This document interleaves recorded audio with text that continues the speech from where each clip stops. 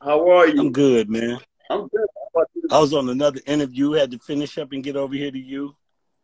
Man, listen, I'm doing You so busy? much today. You know, I take care of my parents, so I'm in the middle of. Y'all gonna have to excuse me because during this interview, I gotta go check on the oven, and y'all gonna go on a tour with me. So, uh, you know, glad you know it's all good. But how you doing, Al?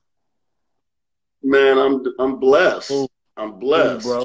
Hey, we got we got your boy C Love in the I room. see love. in there. I see C love down there.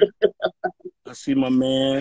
Hey, First of all, I want to say uh, thank you so much for your time. You know, um, it's kind of like my way of paying homage to you guys who, who've been doing their thing. Plus, you it ain't just, just been doing your thing. You still doing your thing, man. And and I watch and I learn from you cats seriously. And I want to also give um, your assistant Shay so much credit, man. She's professional. She's prompt. She she's on it, man. She she has a beautiful soul. You you got a beautiful team, bro. Okay, I appreciate it, bro. No doubt, no doubt. All right, let's start the very humble beginnings. Born and raised in Cleveland. Absolutely. Okay, what school did you go to? Um, I started off uh, my high school. I went to Shaw Shaw High School. I went to Collinwood High School for a minute, but I'm an East Clevelander, where Shaw is from. So you know, uh, Okay. Shaw High School. Went to Collinwood High School. Went to Marshall for a minute, but Shaw is the school that I represent in East Cleveland. okay, no doubt. Did you play any sports or anything? Um, I played football in junior high school, but um, I boxed from the age of nine to uh, about almost 19 years old, around give or take. And um, that was my main sport was boxing. Um, so that's what I did. Yeah, I had about like 80, You- I had about, about 80 fights. Huh? 80 fights. hmm And you achieved Golden Glove status, Yes, correct? sir. Man, these Yep, AAU. better be careful. AAU, National POW, uh, Diamond Gloves, a host of uh, other tournaments or whatever. Yeah, so boxing was my, my favorite sport. Still is. What inspired you to get in boxing? Um, Muhammad Ali, Sugar Ray Leonard, uh, those guys, you know, just growing up, seeing them and um, just inspiring me to want to box. Yeah. Mm. Hey, cats better be careful running up on these R&B singers. Ain't no joke. so, how did you transition into music? At, at at what age did, did you really start be like, all right, I'm about to go ahead and start working on these vocals? Um, I knew that I could sing since I was four or five years old. So I always music has always been my first love. Um, so you know that was my thing. Um, singing, uh, writing as I got a little older when I could write and put uh, things down. You know, write stuff down. Um, that's what I love doing. Um, so you know, singing has always been a part of my life, man. I really didn't go outside much as a youngster. You know, I stayed in, I honed my craft, I practiced, wrote, stayed at the record player, and just studied the game, man. You know, the kids used to tease me and be like, Joe can't come outside. I just be like, I don't want to come outside. I didn't want to play. My play and my enjoyment was the world of music. So the only thing that really brought me outside um, was to go boxing practice and box. And, you know, like probably like in the, when I was in the eighth grade, I played on the football team for Kirk Junior High Kirk Middle School and um, stuff like that. I played Little League baseball um, for a few years. I was good at baseball. I was a good base stealer. So that's what I did. And, um, you know, that's, that's, but as far as that, but, you know, I've been always knowing that I could sing and that music was in me, you know, so I grew up like telling people like, Hey man, when I grow up, I'm gonna have number one hit songs. I'm gonna win awards. I'm gonna, and I'm gonna sing to millions of people. Um, and you know, I felt that inside. And so that's exactly what happened. You know, speaking in existence, putting in the work, you know, um, into my craft and, you know, cause I love, I love music and I love it. And, you know, things, um, what you put in, in, into things that you want, you get out of it. So, you know, I'm a true testament of that. Okay, so um, when was the first time you actually performed, like a talent show or anything? Um, my first time singing was in church. Um, as a little kid, I had my first solo was called "I Love the Lord," and I sung that. And um, when I sung that, it was amazing. It, I just knew something was special about me because of the way that the people reacted in church. I went to a huge church, Temple Baptist Church in Cleveland, And um, when I sang and I opened up my mouth and all the way through, people was crying and shouting. So I knew something was going on. So it only uh, just helped, you know.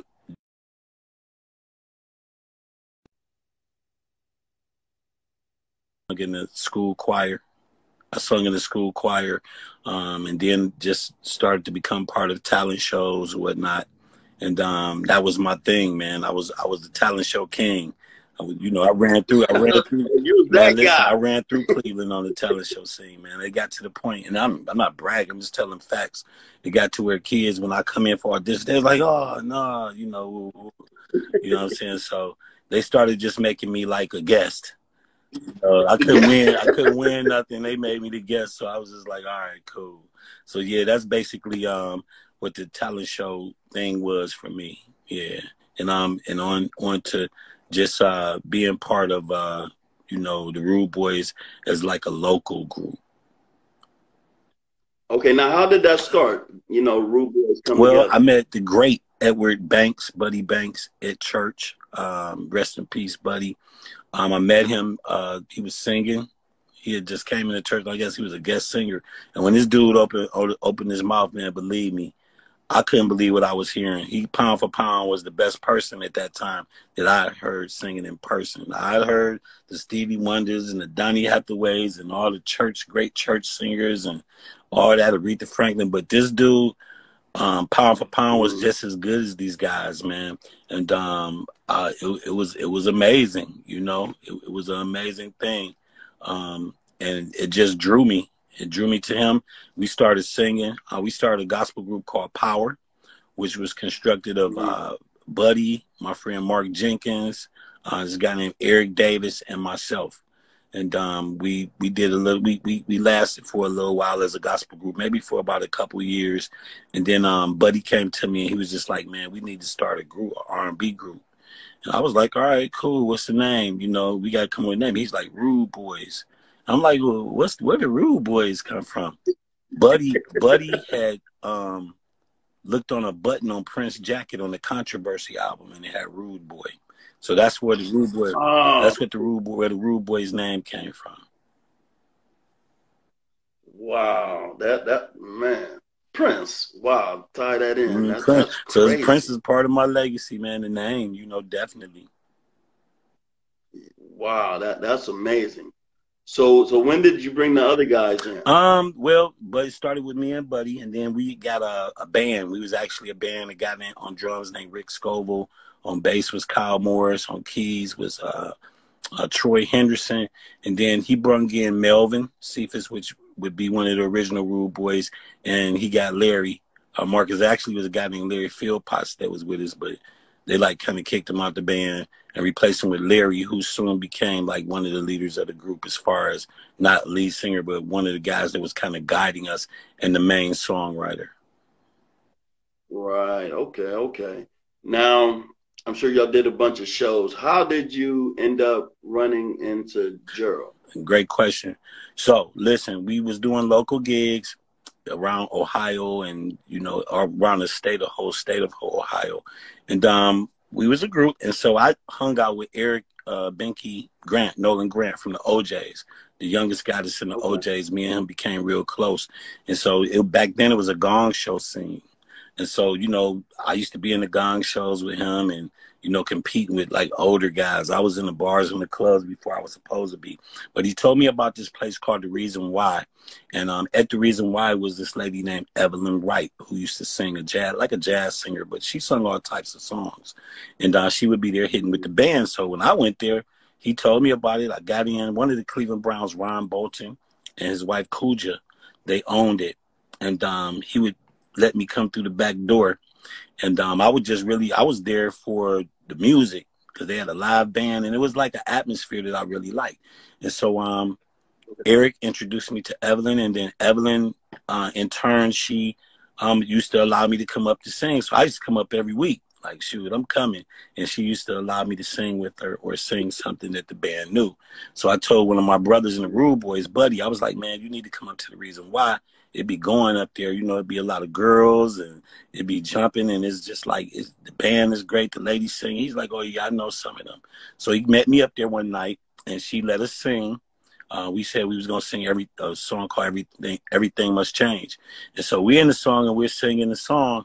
And I look on the steps, which it was some down a downstairs part to it. So in the middle of the steps, down on the landing, I seen Gerald Levert standing there, and I was just like tripping, like, "Dang, that's Gerald Levert from Levert." right?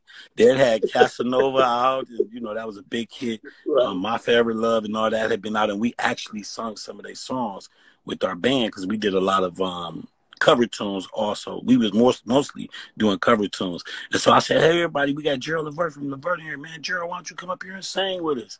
And Gerald was looking like, man, this dude didn't call me up. And so he came up and sang with us. He didn't turn us down. And man, it was a very explosive performance, man. It was great, I must say. Um, to this day, I never forget it. You know, um, it's just in my mind. This is how I got discovered.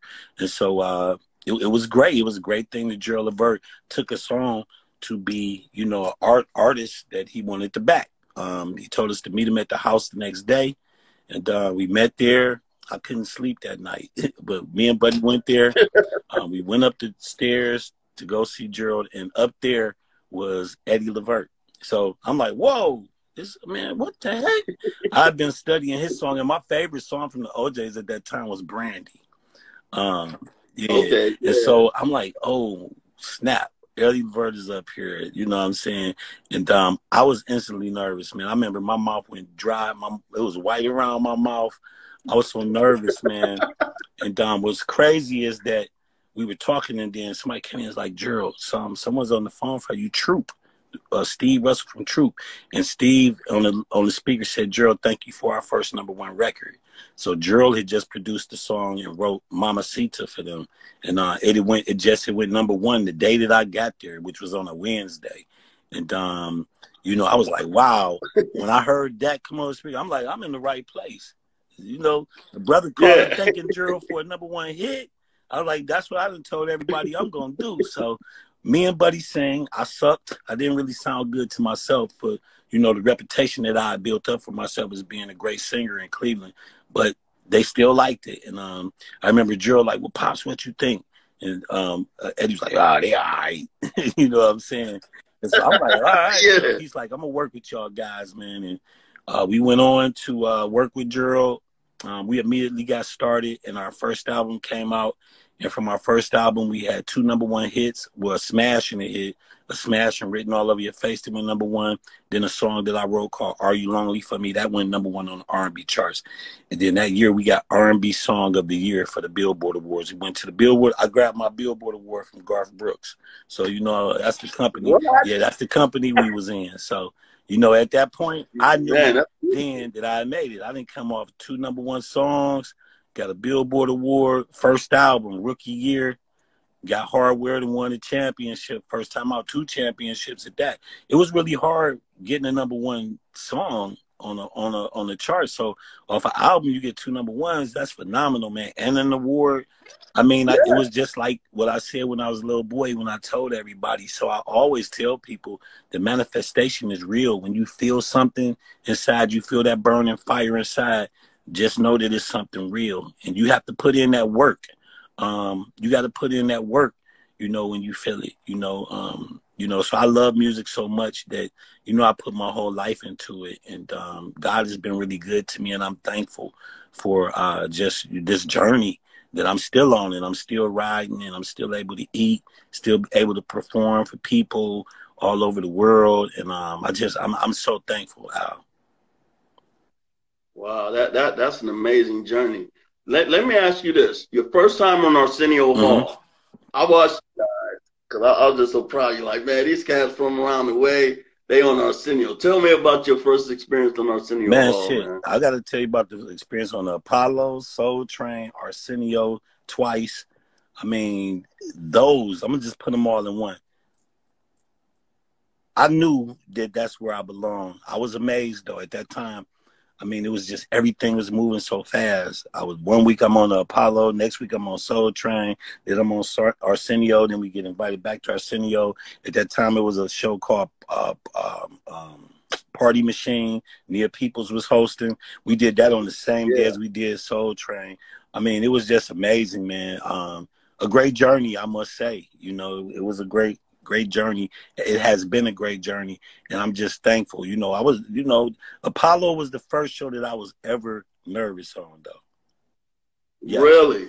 Why, why were you so nervous about man, the Apollo? Because Apollo, they boo people. They boo artists, like professional, known artists. So going on there, I knew I had to do my thing, you know. But we had Gerald yeah. with us because he performed "Written All Over Your Face" with us. So it was it was it was cool, man. You know, we did the Apollo twice actually too. So you know we uh, but but you know, hey, love love loved it, loved it, loved the journey. How did you come up with "Are You Lonely for Me"? What what was the whole the, the story on that? Song? You know, it wasn't really a story. We um had went to Columbus. Uh, it was me, a guy named Dwight Thompson, uh, Mike Ferguson, and Tony Nicholas. And um, we went to Columbus to work with Tony Nicholas, who became, you know, we wrote Are You Lonely together. And um, he would go on to write many hits and great albums with Gerald Levert and myself. And um, he started playing the song, some chords, and I just started singing the verse.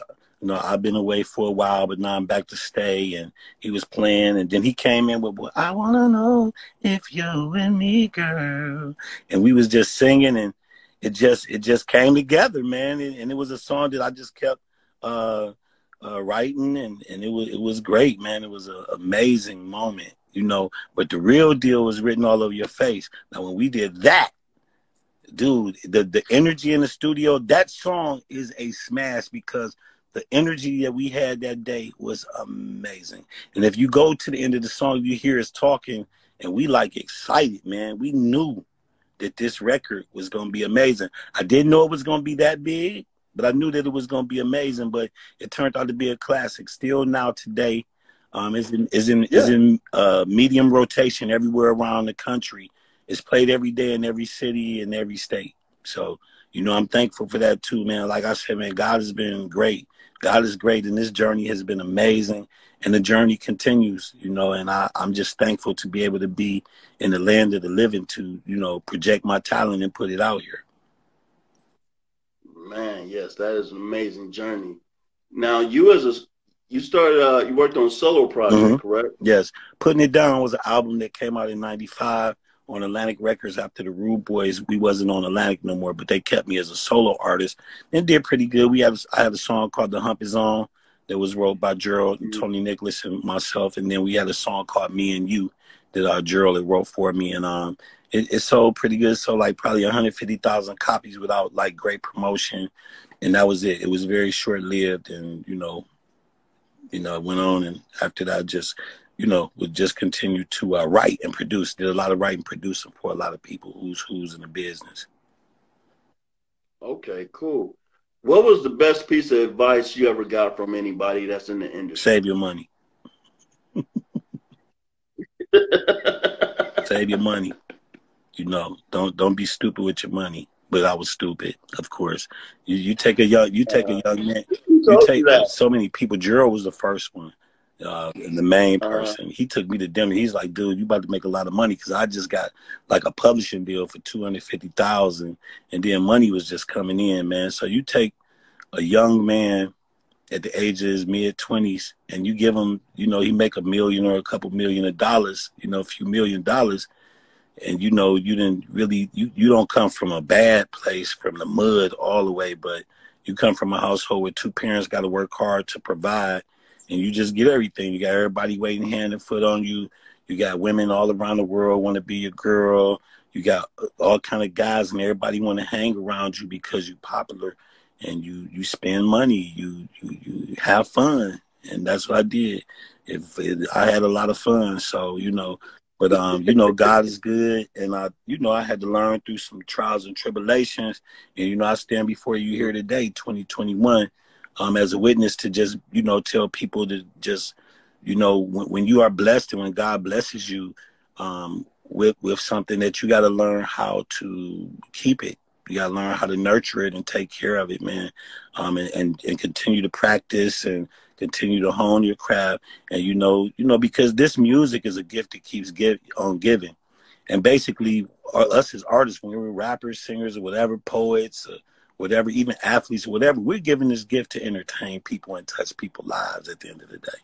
It's not always about yeah. you. It's about the people and the and the lives that you touch. So you have to be careful the stuff that you write and the content that you put out here and the energy that you put out here, man. It's very important to um, you know, especially when you get older and as you grow and you learn, you have to be able to positive vibes, man, positive energy. That's very important. You know, that's what helps make the world go round if we could push more love out and more positive things. Yeah. Now, off of that, growing up in a two parent home, how, how was that uh, influential towards you? That you very fortunate, very fortunate to have a mother and a father's love. Very fortunate to come up in a kind of strict household, which I left home early. I left at 16 going on 17 because I didn't want to go by my mother's rules. And she told me, well, if you can't go by, leave. So I started smelling myself and wanted to get out in the streets. And I started running the streets and stuff and selling drugs at a young age, just being in gangs and all kind of stuff, man. And um, I was glad that God brought me out of that. I ended up going to the penitentiary at a very young age, like at 19 or something like that um, you know, doing a small amount of time and then getting out and being able to really still be able to do what the, my purpose was, what God had for me to do. So, but you know, I was very heavily influenced by two lovely, beautiful parents who are still living now, and I'm fortunate to have them. I actually uh, had to move back to Cleveland um, after my wife passed in 2016, and when I was getting ready to leave to go back to Atlanta, um, my parents needed me, so I I stay here and I take care of my parents. My studio is here at their house, and I'm able to do everything I need to do.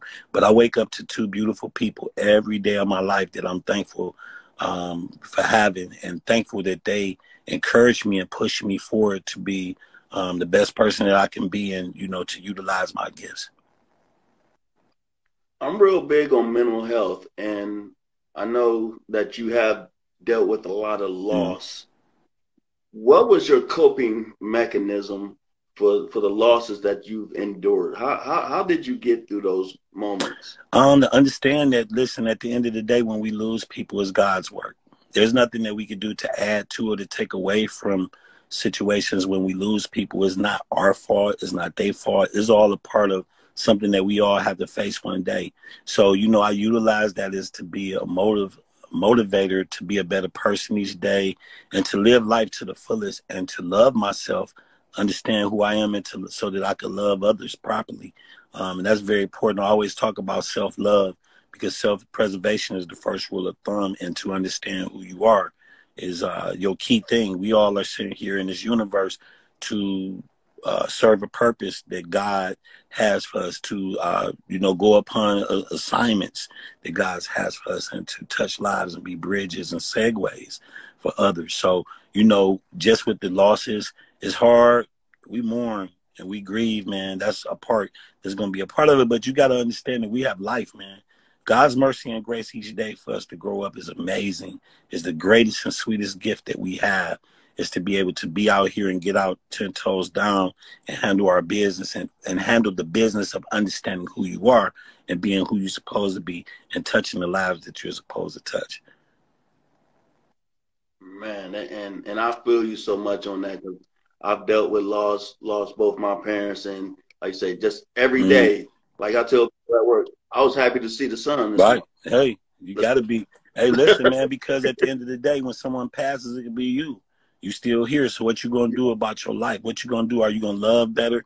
Are you gonna love yourself better? Are you gonna love others better? Are you gonna like just you know give it give your all while you here in a positive way, man? You know I've been negative in the past, but you know I try to be as positive as I can now. Sometimes you know people get in your square, get you up out your square, up out your hookup.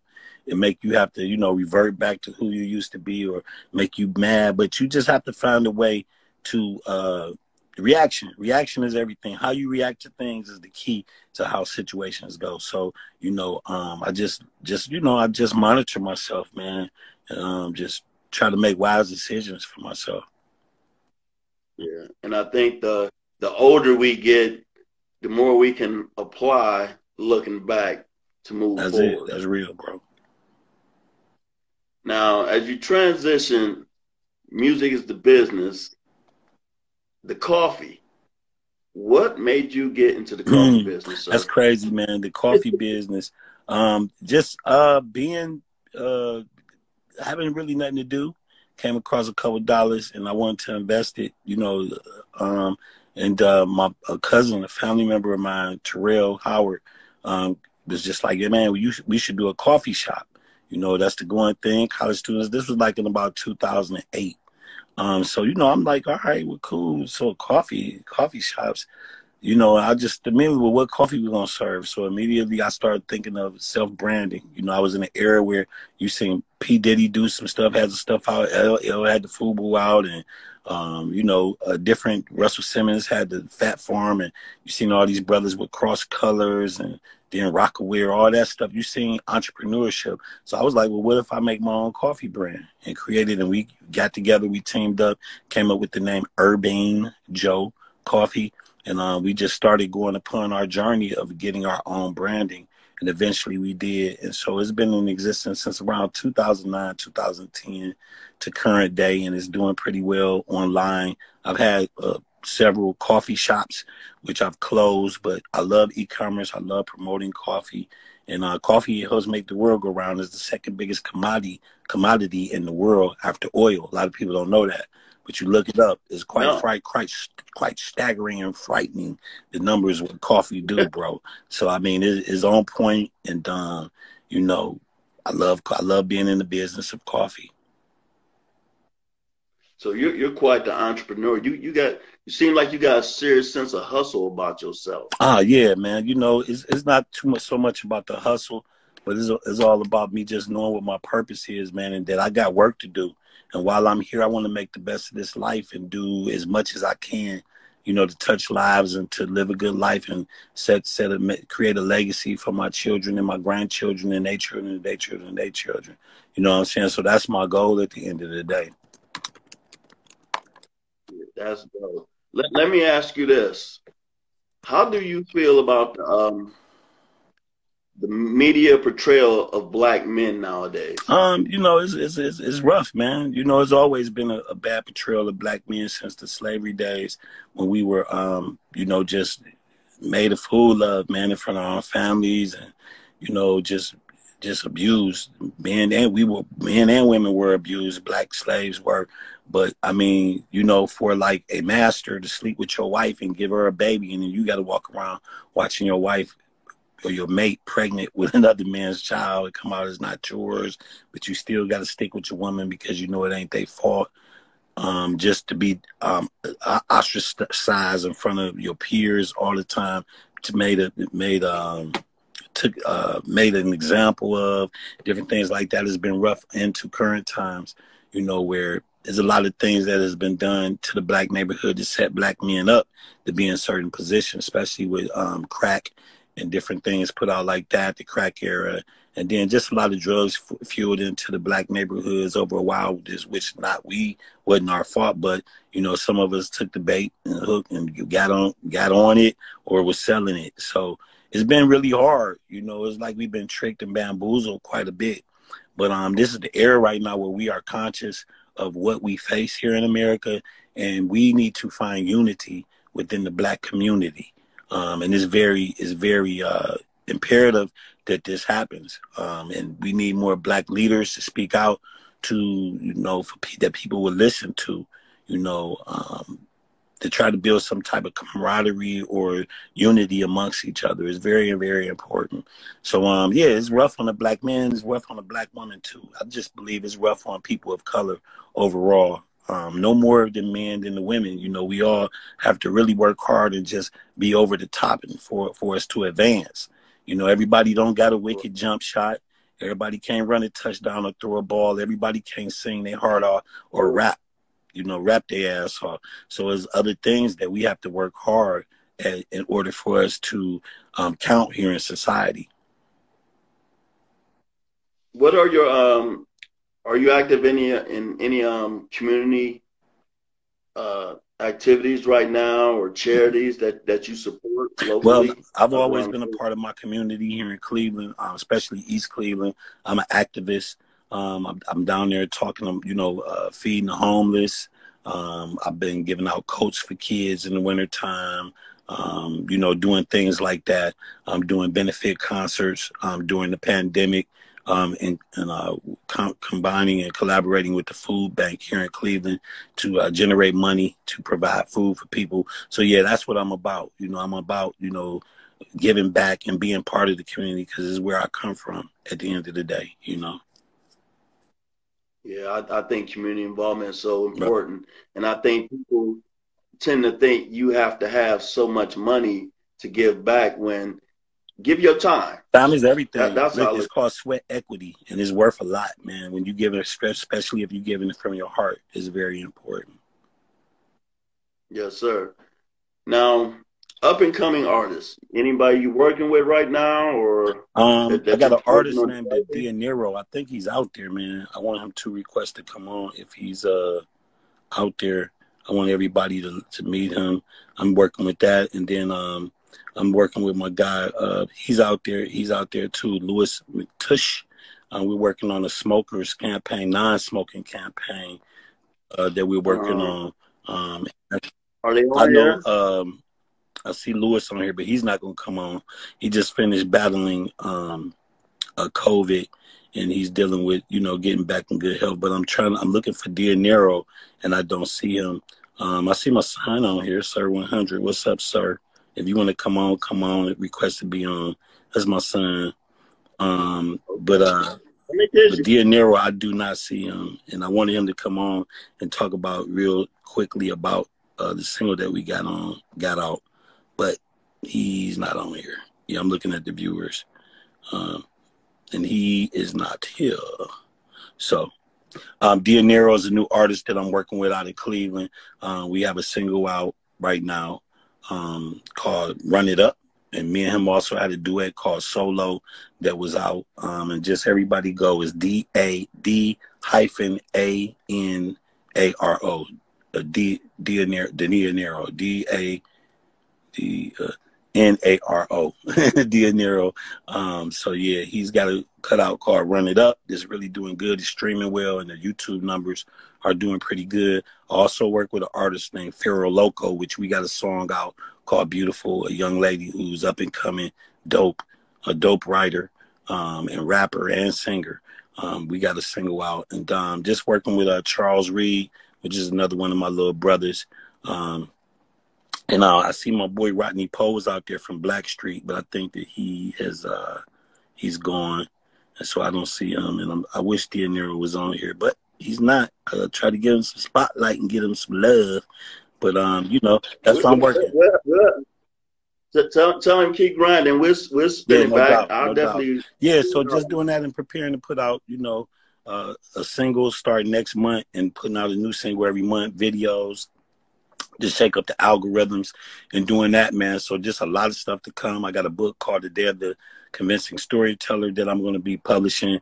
I'm working on a kids book called Joey's Big Day. Um, it's about me. It's about me. It's about little Joey, me when I was little. About my first day in kindergarten when they kept telling me I was going to be a big boy, and it's about you know bullying, getting bullied on, and how did you know bob and weave and get through the bullies, you know.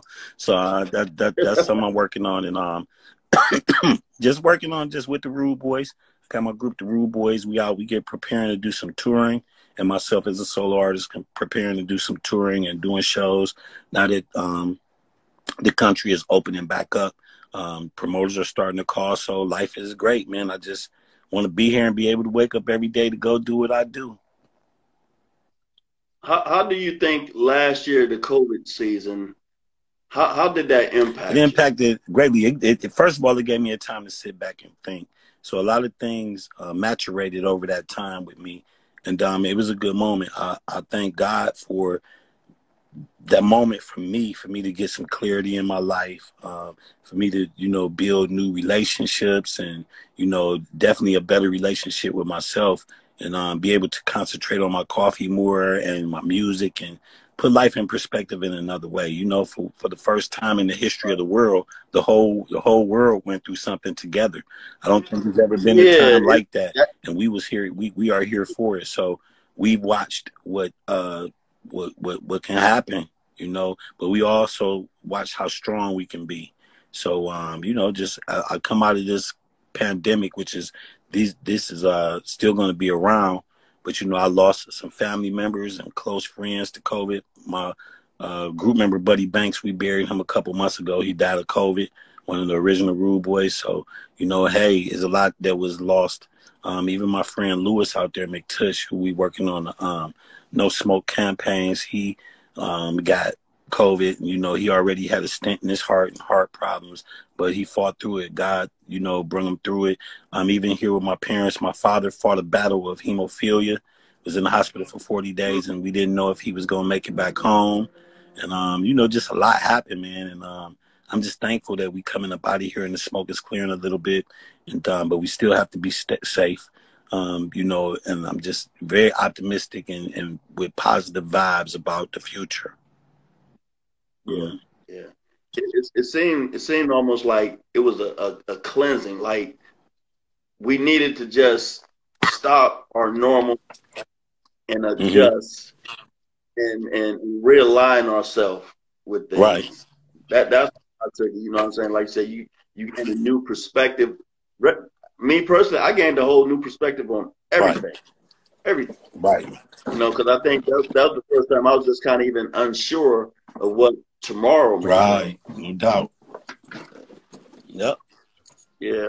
Yeah. It, it, it was definitely um, definitely challenging times you know, and you being a fighter, I know you always up for the fight. Hey man, listen, we are here. Listen, God give the, the, the, some of the greatest challenges to his soldiers, and you know, it's intended for us to conquer these challenges to overcome.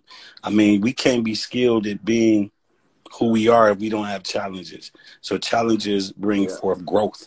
And when you're uncomfortable, that means growth. So there's going to be some uncomfortable times. There's going to be challenging times, but we have to look at it for what it is. Is that hey, good gonna happen, bad gonna happen. It's all about your reactions and how you deal with life, and that you understand that you can make it through. You will make it through. Believe in yourself, love yourself, and know that um you know you just have to be strong and, and, and pull through. No doubt. But what's crazy though is that you had touched on it earlier when you talk about how music affects mm-hmm. people. And music was a major crutch for people last Absolutely. year, especially this time. Absolutely, a lot of artist streams went up um, due to people just being at home, listening to music and listening to their playlistings and stuff like that. So um, it was it was it was great, you know.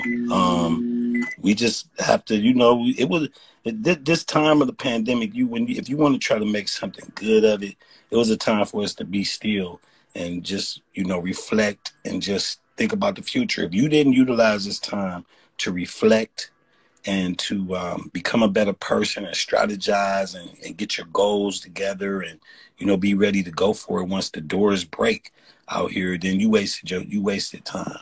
You know, that's just the, that's just the way I feel at the end of the day. You can't get that time. No, nah, man. As the clock tick, it don't go backwards; it go forward. So you know, we all always should know that when we are in these times, that is about uh, maximizing the now. So people be like, well, you know, in in the Word of God, it says. Um, don't worry for tomorrow, for tomorrow will take care of itself. But at the same time, you have to make conscious decisions to take care of the future you. You know what I'm saying? So I always had this analogy that I heard from Keras. One is like if a kid is start started by and raised to take care of themselves for the future. The 10 year old takes care of the 20 year old. The 20 year old takes care of the 30 year old. The 30 year old takes care, or even shorter numbers. You know what I'm saying? The the the the, the, the 20 year old takes care of the 25 year old. You know, five years is a lot of time. You want to try to make great conscious decisions for and pivot and move for the future. You know what I'm saying? You want to make great decisions for yourself. So that counts, you know? Mm-hmm. Yes, sir. Who would you like to see the Rude Boys against in the Verzuz?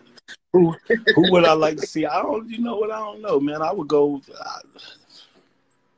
maybe like Shai. You know, I'm gonna pick some of the guys who really didn't have a lot of songs because we we had a few songs. We got songs people know, but maybe like a Shai that would be one of the groups you know that i think that we would team up pretty good with you know um, course i pick on them they're my friends garfield and the rest of the fellas you know what i'm saying but i don't like to look at it as competitive i like to look at it for us doing it for the culture You know, at the end of the day, exactly. it's not really about the competitive man because all of it comes from the talent that God has gifted us with. So at the end of the day, we would definitely be doing it for the culture. So you know, it could be anybody, man. Shoot, I don't care. I just want to be on Verzuz. I want to be on unsung Verzuz. Anything that's there uh, for me to be on, you know. So most definitely, man. Um, I, I would say Shai. I'll pick on them.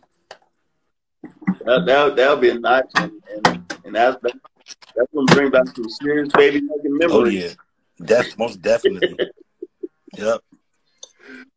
So, so what advice would you have for uh, a young, aspiring artist that's trying to get into the game? Um, just you know, to hone your craft, practice, practice, practice. Build up your social networks, build you a fan base, do quality, good music. Um, you know, and just you know, hey man, be thankful that God has allowed you and gifted you with the talent that you got, and put in that work.